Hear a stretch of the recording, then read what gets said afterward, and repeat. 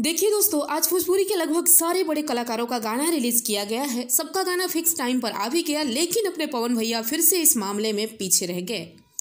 और उनका गाना साढ़े छः बजे न आकर लगभग साढ़े सात बजे के करीब रिलीज़ हुआ। अब देखिए, गाने का रिव्यू तो हम देंगे ही बाद में, लेकिन उससे पहले बता दें कि बिना समय का गाना रिलीज़ हुआ, एक ज़ीरो सब्सक्राइबर वाले चैनल पर, लेकिन फिर भी सबको पछाड़ते हुए रेस में आगे बढ़ता ही जा रहा है। और ये दिखाता है कि पावर स्टार फैंस के पास वाकई में पावर तो है। जितना लाइक्स खेसारी लाल के गाने को तीन घंटे में मिला है, उससे ज़्यादा लाइक्स पवन सिंह के गाने को दो घंटों में ही मिल चुका है। और वो भी बिना फिक्स समय का गाना छूटा तब। जबकि कहाँ स्पीड रिकॉर्ड्स के सब्सक्राइबर छह मिलियन प्लस और कहाँ टाइम्स म्यूज़िक के ज़ीरो सब्सक्राइबर फिर भी आप लाइक से अंदाज़ा लगा ही सकते हैं। फिर चलिए चर्चा करते हैं गाने के बारे में। तो गाने का लिरिक्स तो ठीक है। गाने का धुन और म्यूज़िक भी अच्छा लगा मुझे, लेकिन एक कमी है जिसमें बहुत ही ज़्यादा सुधार करने की फ़िलहाल ज़रूरत है। जिस तरह से ओढ़नी सरकत जाए पुराने वाले धुन को उठाकर मिक्स किया गया था, ठीक उसी तरह इस गाने में भी पवन सिंह के पुराने गानों का कुछ धुन उठाया गया है।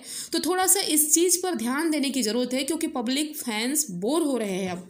पुराने धुन को कितनी बार सुनेंगे? कुछ नया लाइए यूनिक लाइए, क्योंकि आप भाई महीने सप्ताह में एक गाना लाते हैं। आपका रोज़ तो गाना आता नहीं है तो कुछ तो यूनिकनेस उसमें होना ही चाहिए।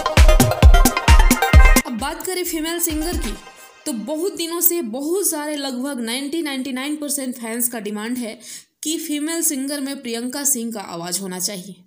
अभी आज ही तो ही तो हो जान हो जो गाना है, वो फीमेल वर्जन में प्रियंका सिंह के आवाज़ में अपलोड किया गया है एवरेज भोजपुरी चैनल पर। आप जाके सुन सकते हैं, क्या आवाज़ लग रहा है। क्या एकदम से मतलब लगता है कि पवन सिंह और प्रियंका सिंह, यही दो जोड़ी है भोजपुरी में जो कि एक दूसरे को फिट बैठती है आवाज़ के मामले में।